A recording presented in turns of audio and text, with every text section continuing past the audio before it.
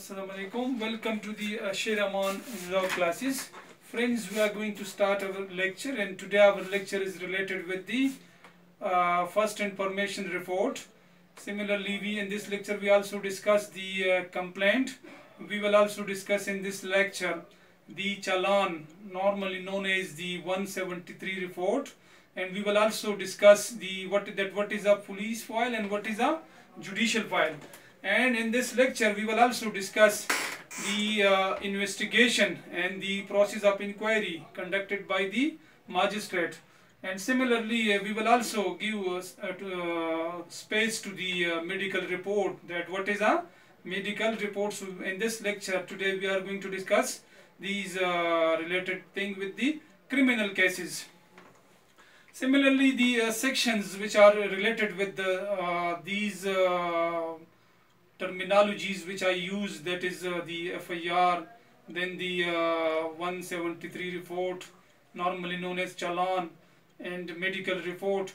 So the uh, related uh, sections we will also discuss, and the sections which we are going to discuss in our class, that is uh, section 4F, 4N, and then uh, section 54, then section 154, then section 155, and then section 156, 1, and then one section uh, 154, 3, and similarly uh, section 173 also important, and we have discussed that. And then we will also discuss section 190, the power of the magistrate to uh, try the cognizable case. And then uh, finally we will discuss section 200 of the CRPC where the order per complaint has been uh, ordered by the uh, magistrate. So these are the section and this is the area which we are going to discuss. So before to start this lecture, this is also very important that we should know that what is a cognizable case and cognizable offense and what is a cognizable case and cognizable offense. So this is important. It is concerned the uh, cognizable case or cognizable offense, both the cognizable case and cognizable offense has been discussed in section 4F of the CRPC in the uh, definitions sections. Normally, as you know that in every law, section 2 is uh, about the definition sections. But I'm not talking generally, but I'm talking uh, normally. I'm talking about that normally section 2 is there. But uh, in our CRPC, the situation is different. Here the uh, section 4 is discussing the definition clauses. So then the cognizable and non-cognizable offenses are discussed in the section 4 and section 4f define the cognizable case and cognizable offense. Keep in mind that section 4f defines the cognizable case and cognizable offense. And it is talking about that what is a cognizable offense. And this definition section says that cognizable is a case or cognizable is, is an offense in which the police can arrest a person or persons. And as con uh, concern the non-cognizable case and non-cognizable offense, so that has been defined in section 4N of the CRPC of the definition section. And it says that non-cognizable offense or non-cognizable case is a case or an offense in which normally the police has no power to arrest the person without the warrant. They may arrest a person but with the prior permission of the concerned magistrate and with the warrant. Otherwise, the police have no power to arrest any individual, any person in non-cognizable offense. Now, this was about the cognizable and non-cognizable offense. Now, that this is also important that we should know that police have certain powers and that powers has been granted to the police under section 54 of the CRPC. CRPC empowers the police to arrest a person, to search the house of any individual or to implement the warrant issued by the court of competent jurisdiction. So this is section 54 is there. And this section 54 is not only granting power to the police to apprehend and arrest the persons but uh, section 54 is also available to the uh, magistrate when he, uh, whenever he is exercising his power. So the power granting to the police by the uh, CRPC, similar power may also exercise by the magistrate whenever he is giving directions to the concerned police or taking in action in a case. Similarly, when a, this is also important at this stage I should talk about this, that similarly when a, when any justice of peace whether he is a district and session judge or additional district and session judge and whenever he is uh, exercising his power by uh, getting directions to the police officials so he is also exercising the power of section 154 of the CRPC so in short we can say that section 54 is power available to the police, available to the magistrate and available to the district and session judge when the district and session judge is issuing direction under section uh, 1 sorry section 22a and 22b of the CRPC or whenever he is performing his duty as a justice of peace. So this was about section 54 of the CRPC. Now this is also important that at this stage I should also talk about that section 154 of the CRPC. Both section having some similarities section 54 and then section 154 of the CRPC. So section 154 CRPC is the section in which the police may register a criminal case against the offender or a criminal case against the accused person and normally that in our uh, common language we call that FIR means first information report. So the police are registering the FIR under section 154 of the CRPC. Similarly, uh, the process of investigation is starting when the police registered the FIR. So the second uh, uh, stage comes and that is the process of investigation. So uh, some sections are there. Two sections are very important. One is 150, uh, 155 of CRPC and the other is 156 of the uh, CRPC section 155 is related with the uh, investigation relating with the a non-cognizable case. When there is a non-cognizable case, the police may take and uh, do investigation, but with the prior permission of the uh, magistrate or the court of competent jurisdiction, the police may enter into the investigation process under the section 154, sorry, un under section 155 and they may uh, make inquiry. But remember that the case should be non-cognizable one. And secondly, then we have section 156 of the CRPC. 160, uh, 156 CRPC is further divided into two categories. One is 156, uh, 156 subsection 1 is important and this section is important in this sense because this section says that the police can investigate a case which is cognizable in nature. Suppose the police lodge in FIR, so they will investigate the case without the prior permission of the magistrate.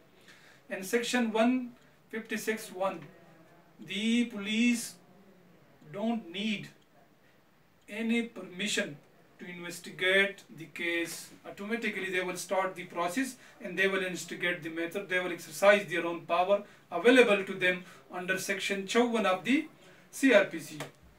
So section 156 1 says that the police may investigate a criminal case without the permission of the magistrate. Similarly, section 156 3 is also So as concerns section 156.1 that is related with the uh, investigation into cognizable case and as well as uh, the uh, power which is mm, exercising by the police but the permission of the magistrate is needed. So then as we talk about that section 156 3 is also very important and this is important that uh, that whenever a cognizable case is uh, there and the police is making uh, investigation. So the magistrate the concerned magistrate may give direction to the police to do investigation.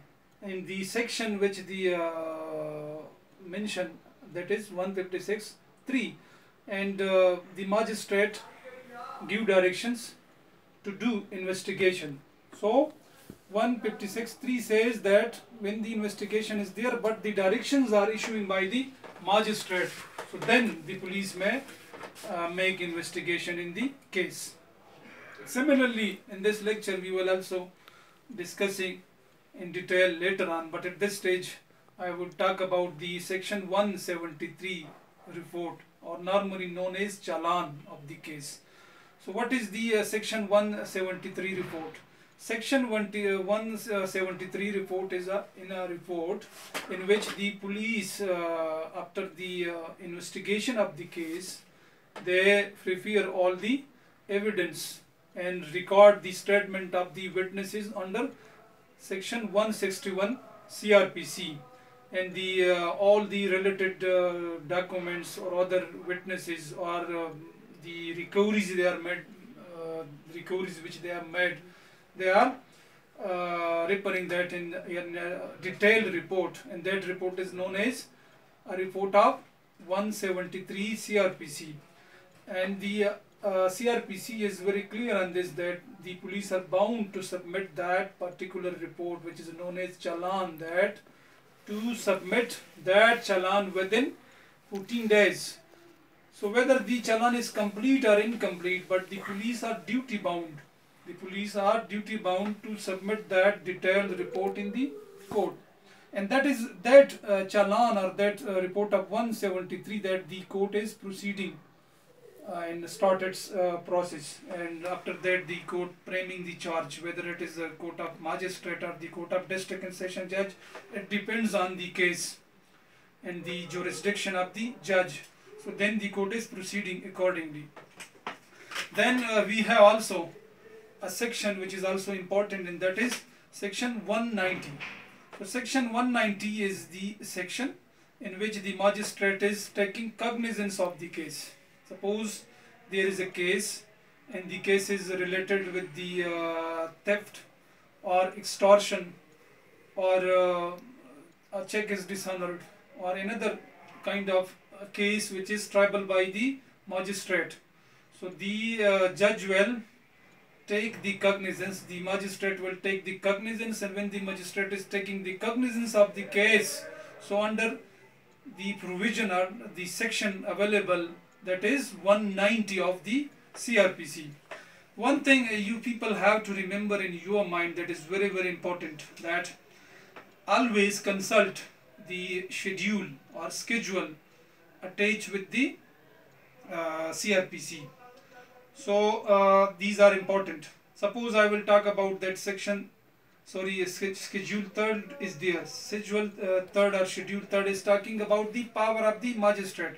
So until and unless you are not studying the schedule or schedule third of the CRPC, you cannot understand and the power of the magistrate. Similarly, uh, when you are not studying and when you are not consulting the uh, second schedule of or second schedule of the CRPC, you cannot understand a brief summary of the cases uh, which are there in the Pakistan Penal Code. So, if you want to understand a brief summary of the cases of the Pakistan Penal Code, so you have to consult, you have to look over to the uh, second schedule of the CRPC because it's giving a brief history and uh, it's uh, talking about that whether the case is uh, triable by the magistrate, whether the case is triable by the session judge. It also talking about that whether the case is bailable or not bailable. Then it is also that may a warrant may be issued or not issued. whether the case is compoundable or non-compoundable. So all these things are available in our uh, that uh, schedule second of the CRPC. Similarly, schedule second of the CRPC is also talking about the offense. It defines the offense and then the nature of the offense. It is also there. So being a student of law, this is your utmost duty to consult the second schedule as well as the uh, schedule or schedule third of the CRPC. So this is important at this stage that we have to discuss. So uh, section 190 is uh, granting power to the magistrate to take cognizance of the case and decide the case and uh, proceed in the case. Whenever he, he uh, this thing is coming to him that this case is triable by the magistrate. And when the case is not uh, triable by the uh, magistrate according to the second schedule so uh, the magistrate will send that case to the district and session judge under section 192 and then the uh, district and session judge will look over to the matter. And uh, he will also this is the uh, option of the this is totally on the option of the district and session judge to listen the case by himself or sending the same to the other additional and district and session judge. It depends on the workload on the court. If the uh, session judge considers that it deems proper that uh, I should take the cognizance of this case so he will fix the case before him and whenever he is uh, looking that work road is there in the matter he will refer to the district uh, another district and uh, sorry uh, another additional district and session judge.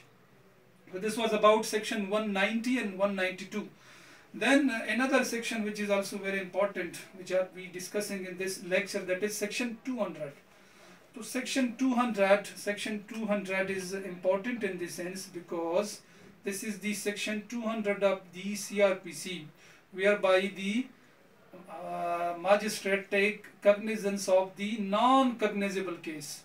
Earlier I have discussed in our this lecture that there are two types of cases or two types of offenses cognizable defined in section 4f and non-cognizable defined in 4n.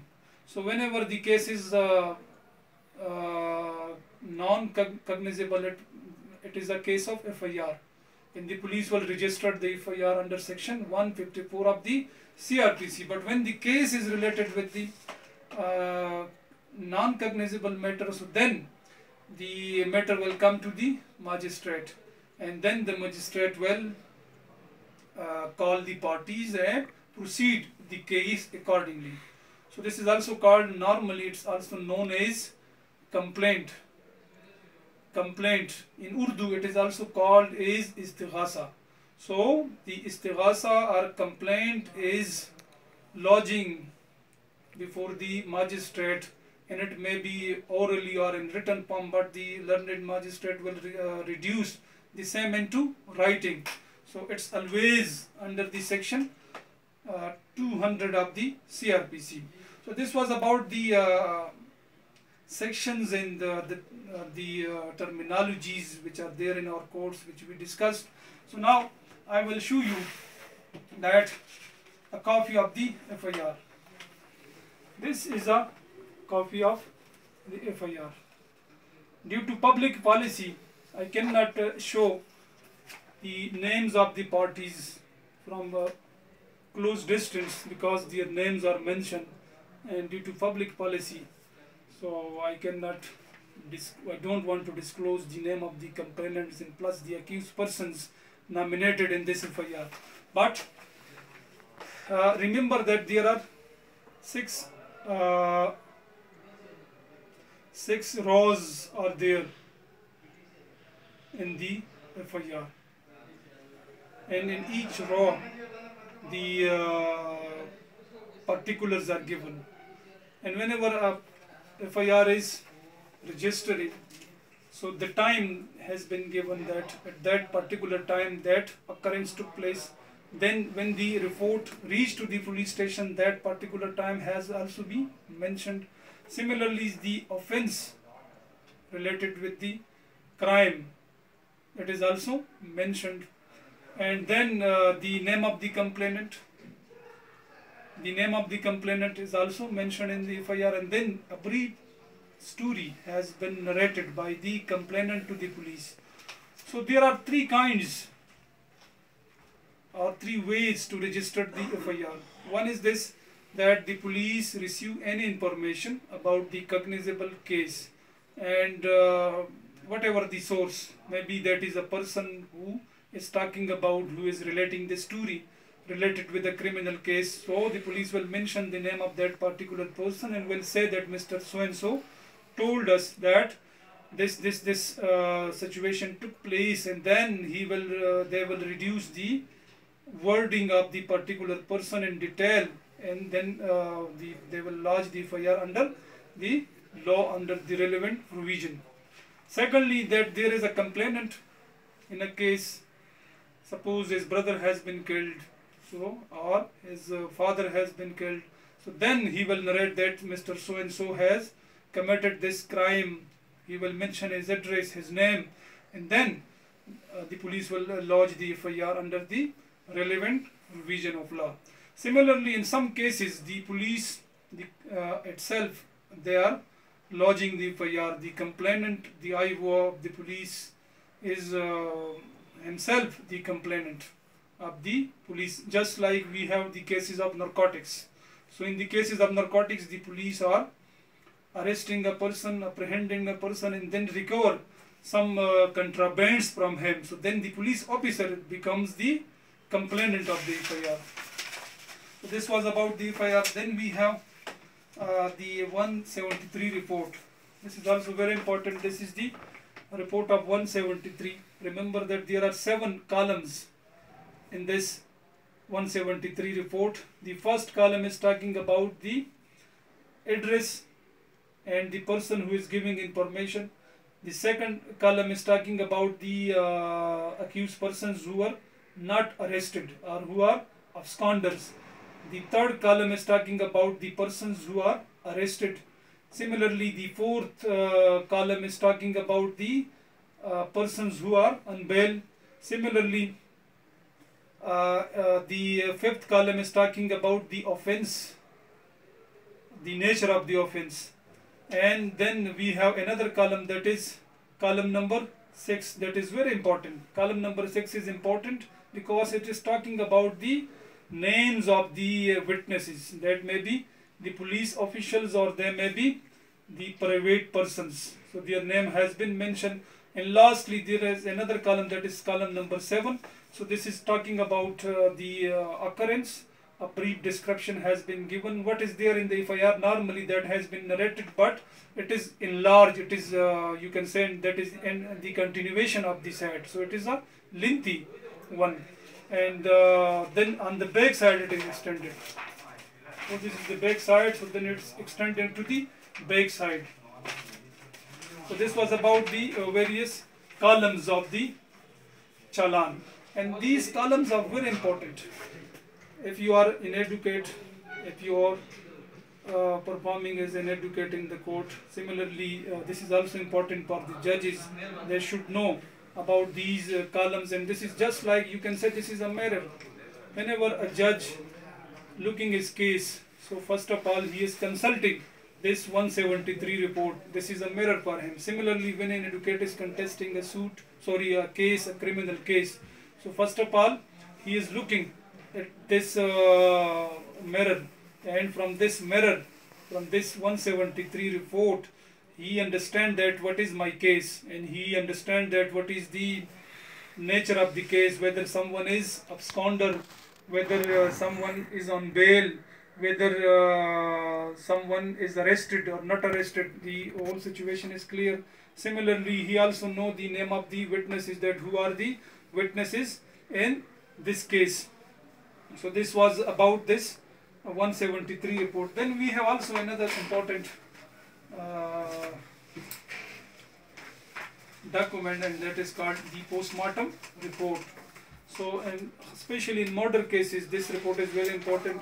And this report is uh, related with all the uh, statements made by the doctor after medically examination of the uh, dead body of the person. So in this the uh, postmortem report the uh, doctor opinions are given. And this is very important. Similarly uh, suppose some prior injuries are made on various parts of the body so that place is also shown in this medical report uh, in this postmortem report one thing is very important that the uh, doctor is uh, giving his opinion about the cause of death, about the weapon which has been used, and similarly the distance also shown that whether the fire was made from how much distance. So this is also important that we should study the postmortem report. And inshallah, in next lectures we will talk in detail. We will talk about the postmortem report and medical report in details. So with this, we conclude our this lecture. Inshallah, we will appear uh, in the next lecture.